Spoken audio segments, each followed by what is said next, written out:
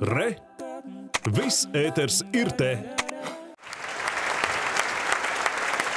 Latvijas Nacionālā simfoniskā orķestra goda diriģents Vasilijs Sinaiskis ir pasaulē atzīts operas un simfoniskās mūzikas diriģents.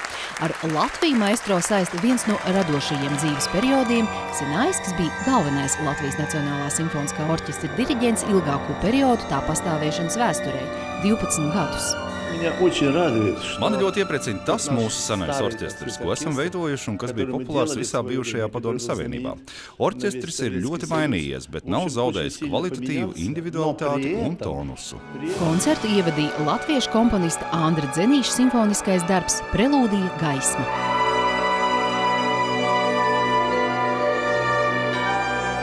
Es biju tāds maziņš puika, kuru māma šeit veda uz simfoniskiem koncertiem. Es esmu diezgan pārliecināts, ka Vasilijs Sinaiskis bija mans pirmais diriģents manā mūžā, ko es varbūt redzēju diriģējumu orķestri.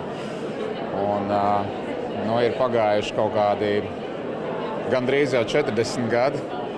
Un te nu viņš diriģēja manu skaņdarbu. par to, kā orķestris veido savu programmu, un kā viņš mūs audzina un kā viņš mūs saviņo un, un liek pārdomāt dzīves īstās vērtības.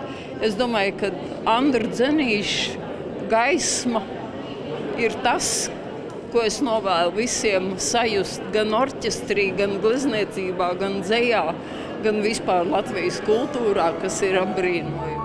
Publikas ovācijas un sajūsmu izpelnījās Benžamina Britena tehniski sarežģītais klavieru koncerts pianista Andreja Osokina interpretācijā. Galvenais, ka interesanti bija tā enerģiski ā, strādāt, un viņš orķestrim ļoti daudz reizi lieka klausīties solistu, un tādā veidā es varēju spēlēt ļoti brīvi un ļoti krāsaini, nedomājot par to, ka man jāspēlē ļoti skaļi. Bet par koncertu kulmināciju izvērtās Gustava Mālera pirmās simfonijas atskaņojums.